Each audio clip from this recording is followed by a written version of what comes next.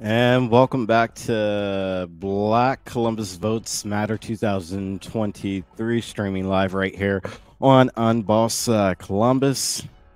We've been on uh, air with you now for almost three hours.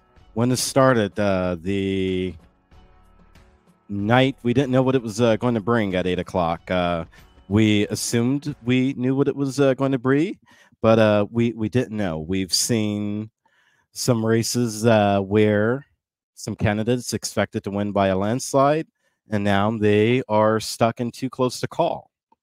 There were some races that were expected to be too close to call or simply too early to call, and they've been called. Uh, there's uh, other races that we won't know who wins until all the votes are finally counted in about two weeks or so we'll recap all of that in a moment. But I'm actually uh, looking forward to uh, this uh, next conversation, which ties into everything. And uh, really, just so honored to have this uh, next guest on.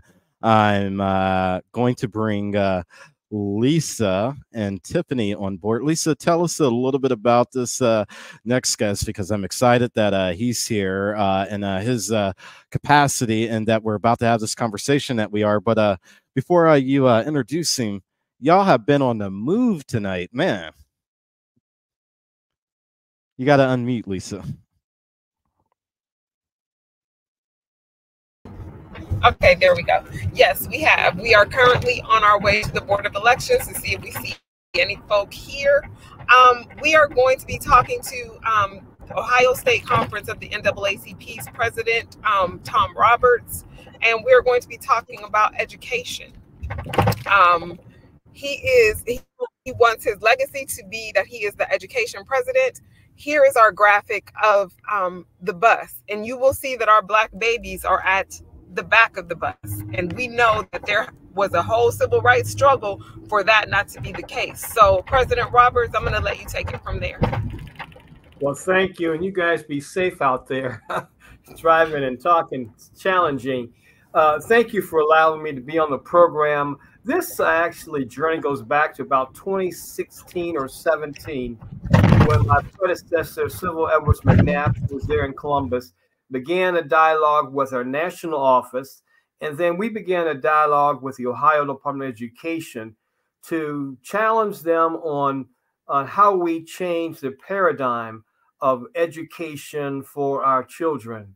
And as the bus demonstrates there, uh, the graphic, shows that when the state of Ohio uh, put forward its Every Child Succeeds Act, its ESSA plan, it it, it uh, lowered expectations for Black students over white students, and that really made me and others upset.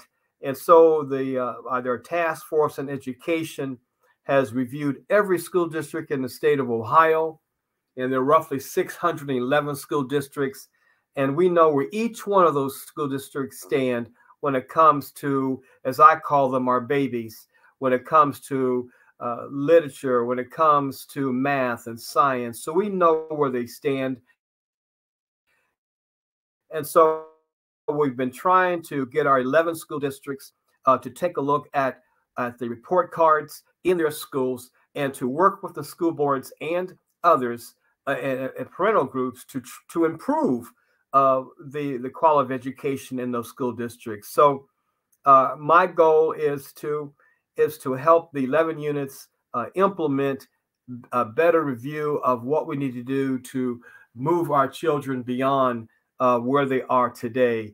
You know, uh, we are coming up to uh, celebrating Brown versus Board of Education, and the bottom line of Brown said, when states take on education, they sh- shall do so where education is is quality for everyone basically. So that's our goal. Uh, I spent the last two days this past weekend in, in washington d.c with our national education director Ivory Toldson and he shared with us our plans as a national organization. I think ohio is well ahead of that plan but i think our goal is just to challenge the 1100 school districts in ohio and especially those 11 or 12 that have the most of our babies So I'm glad to be here and share our thoughts. Lisa, you're muted again, Lisa. Mm. What we know is that Ohio, it's been a long day, is not living up to the promise of Brown because what we have is academically segregated programs in, in integrated schools. Speak to us a little bit about the difference that the Ohio Department of Education has for Black babies versus the majority white population. Well, I think that graph shows it all. If we we can see that again, the school bus, because it really sets out uh, where, for some reason, they believe the the Every Child Succeed access that they have to have uh, standards. Uh, but what they're saying is that they want black children to uh, standards, not standards necessarily so much as expectations. They have lower expectations for Black students over white students. And if our children are already uh, so many years behind in the area of literacy and reading and math, uh, to lower that expectation is simply going to make it worse. Uh, it's not to say teachers are not going to teach, but they don't have a higher goal to be set for. You know, so when we set goals high for our students, we know they will they achieve them.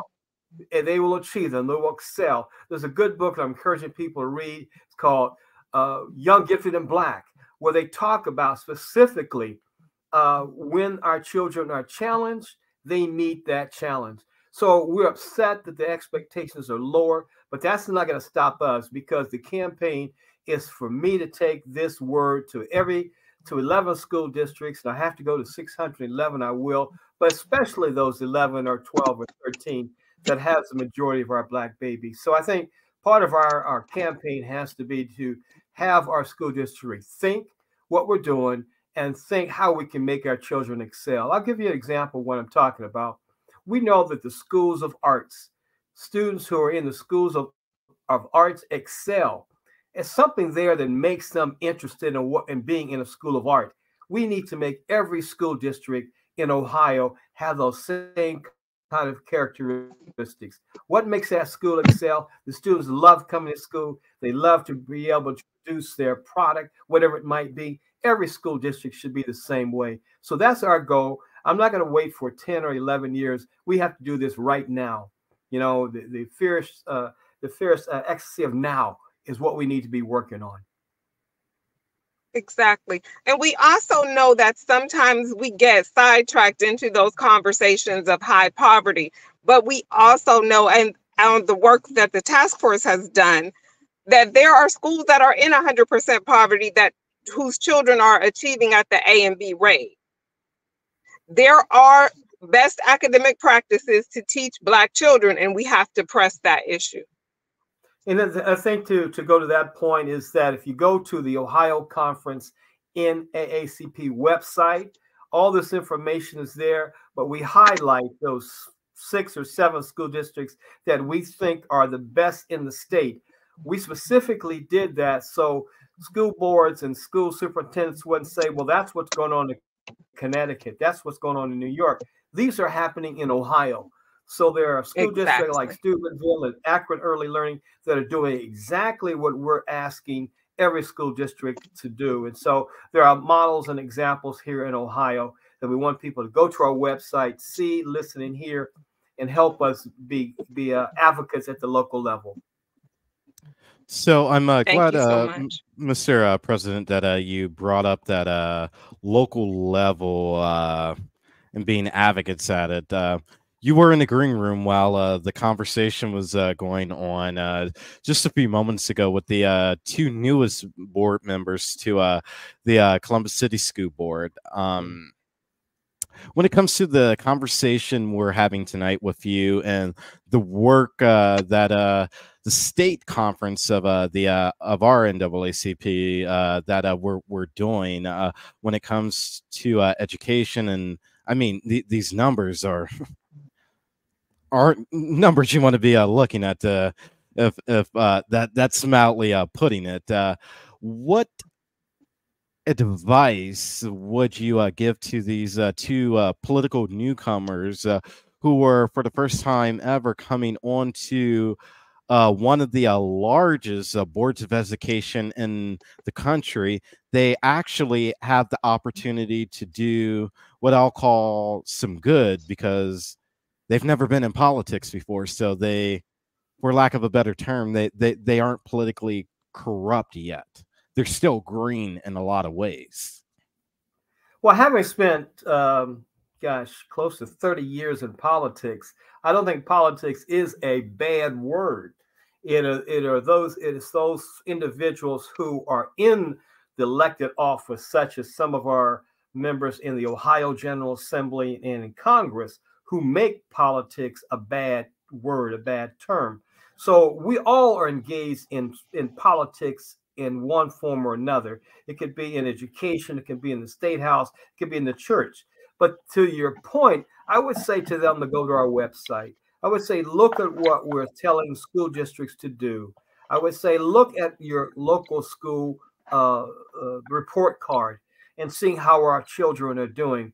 I would say, visit those schools, talk to those parents, because that's where I think uh, for example, Steubenville, who we look at as one of the best, the the superintendent said he put all of his his uh, administrators in a bus. They drove the school district. They talked to parents, and they they got insight. And so it's really becoming familiar with those kids, familiar with those parents, and then holding everybody to a higher standard, even themselves being more accountable for what they do. Look at what your report card says then work on how we can improve it. And we'll be glad to sit down with them and, and help them see that. The task force is very interested, especially the 11 school districts, in, in living up to uh, what Brown has told us to do. President Roberts, this is Tiffany White. How are you this Go ahead, I'm I can't hear you. This is Tiffany White. How are you this evening? Good and finding you. Yes. Good. I'm actually asking this question because mem- as a member of the Columbus NAACP, um, our president came out against the levy, which would tax, in essence, mostly our seniors because those are our homeowners right. in the city. Um, how do we get them to get on board with what you're doing on the state level to come up with these things that are the best practices for our Black children in the city of Columbus? Well, I think people like members like you need to take it back to your leadership there in Columbus. Uh, I think you have to do what you have to do on levies and things of that nature. You know, the General Assembly still uh, has not got it right, but they punt it. You know, the uh, I don't know, this is probably year 14 or 15 uh, to Perry, mm-hmm. you know, when we still yeah. rely on the property taxes to pay for education and the General Assembly said they did what they thought they should do, and then uh, the Supreme Court put it back in the General Assembly's lap, and General Assembly basically said, "We've done our best. That's it." Well, school funding is still an issue, and so we're constantly relying on on low wealth districts to provide the money, uh, those property taxes. I was in the General Assembly when this debate took place. Having said that, it is one of those issues but I think if we don't look at uh, improving our education in every one of our school buildings in our school districts, then I think we are failing as as this generation living up to Brown versus Board of Education. Uh, and, and as Lisa pointed out, we have academic segregation going on right now, and our babies are not are not uh, passing. They're not you know doing well in these subjects. You know i think there's too much uh, of the uh, of the gadgetry and we need to go back to reading books. We need to go back to having uh, libraries in our homes uh, and and having conversations. And so groups in the community you know the black church uh, and sororities and fraternities uh, need to and are but need to step up more and take on some of these uh, challenges so for me uh, every school district, and especially the 11, need to have a local group that's going to look at what our children are doing in those three major areas uh, language arts, science and math and work on how we can improve them. Our babies can, and we know uh, we can see them on a daily basis when we talk to them. They can do they can do those things. We need to challenge a little bit a little bit more, and and give them the rewards, you know, so they know that they are valued and that their education is a value to them. Definitely. That is so important. Currently in Columbus, 65.5% of children are less than proficient. There's a lot of work to be done, and we need to hit the road and get it done. And I think part of what we have to understand is what do those tests tell us? You know, and and that's one tool to be used. But if we challenge our children, understand where they're coming from, they will excel. They will exactly. perform study after study after study has convinced us of that. And so um, we're just looking at one tool, and that's that's the test.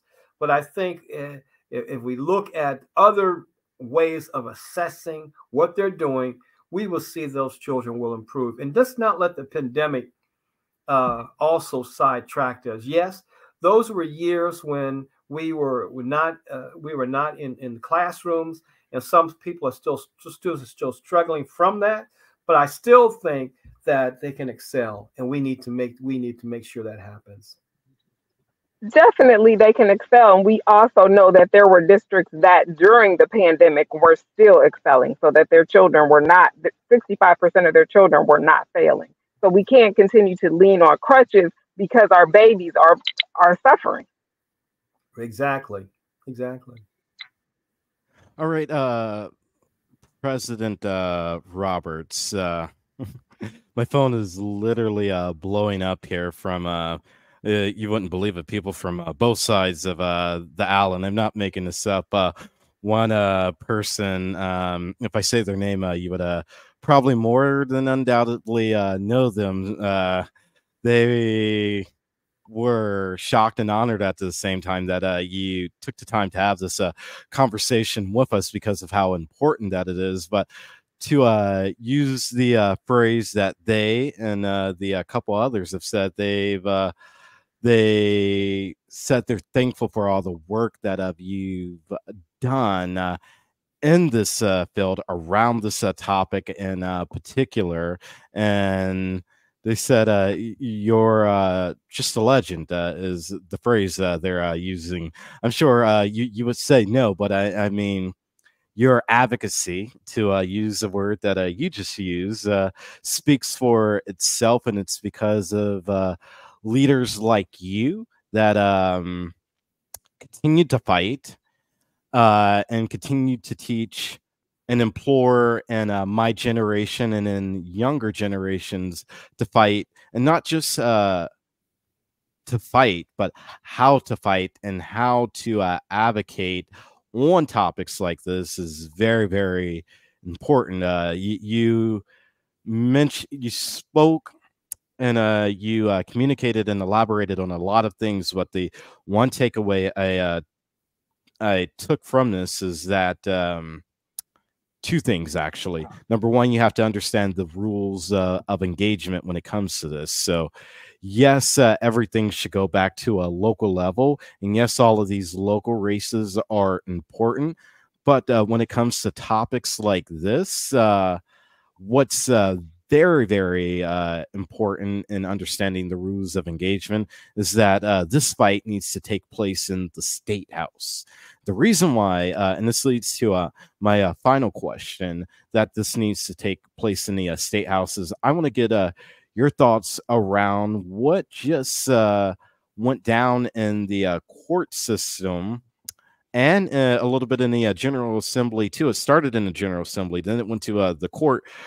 courts, basically the fight that with the governor taking over the uh, Ohio Department of uh, Education and kind of bringing it under his uh, purview. What are uh, your thoughts uh, around that? And does it harm us even more as uh, a black and brown community, especially in terms of this conversation right now and the topic of discussion around Brown v. Board and the work that you're, you're doing and advocating about? So let me let me say this to you uh, the General Assembly and the governors in Ohio have been in control of public education since Governor Voinovich. And so I can't blame all this on the state school board. The state school board has had their own issues. But going back to Governor Voinovich, they've had their hands on public education, going back that far. Uh, the current president and, and former Speaker of the House, you know, uh, for some school board members to not want to be reappointed because they were doing the kinds of things that we were asking them to do on the state school board. I have no confidence in the Ohio General Assembly or the governor or his appointed person to be the cabinet member of education to do the things that we're asking to be done in our report because they have failed to come around when it comes to uh, fully funding education, going back to Perry. You know, so for them, uh, for for the General Assembly, uh, for, for for the question, for me to think the General Assembly is going to do something different than they have they've been doing for the last couple of years, I don't believe they are. I think they believe they've done their job, and uh, it's all about uh, about what they want to do in their own legacy. I think that was the word you used, legacy. Uh, but I don't I don't trust them. So that's why it has to be a local issue.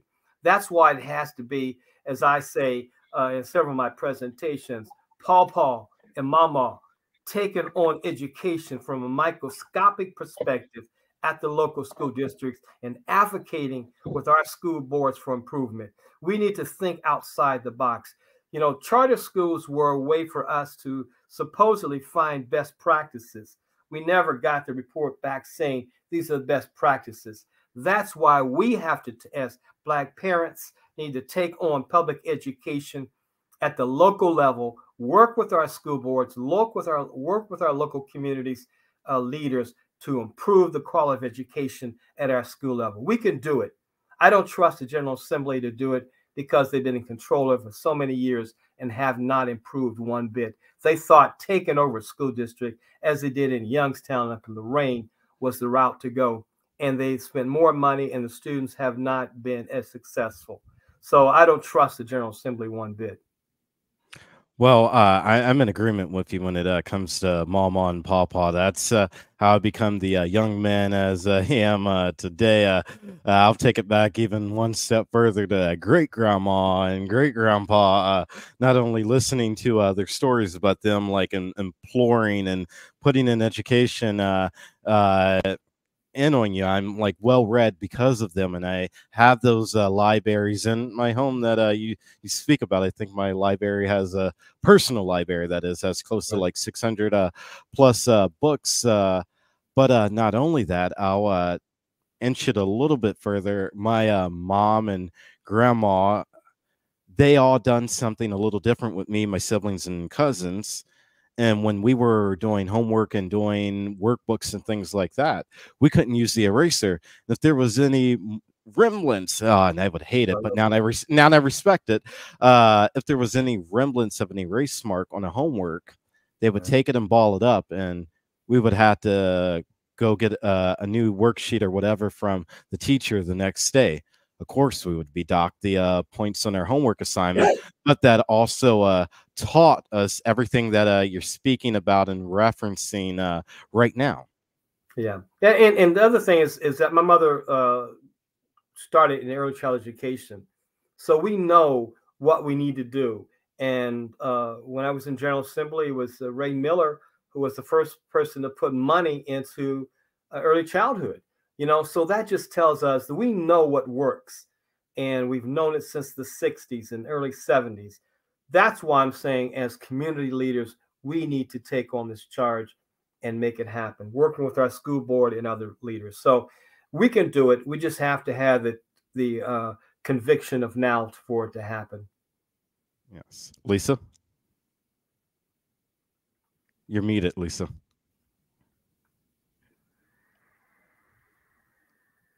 Lisa, uh, can uh, you hit the unmute button, please? It's been a long night.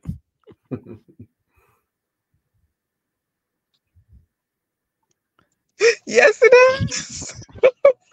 Thank you so much, President Roberts, for being on tonight and speaking with us and for honoring your commitment to my father and being having education be your legacy. Well, thank you very much. Thank you for you for continue to push me and the task force, and I look forward to further conversations with you in in this uh, this broadcast on this topic. Most I don't know- definitely. I don't know what all the questions were, so maybe you can share them with Lisa. She can share them with me, so I can understand uh, where they're coming from. But I appreciate it, and it's been a long night. It's time to sleep. Yes, Have thank you. Yeah. Yes, thank you for uh, your uh, time, uh, Mr. President, and uh, we hope to be speaking again very, very soon in the near future. We will do that. Thank you all. All right, have a good one.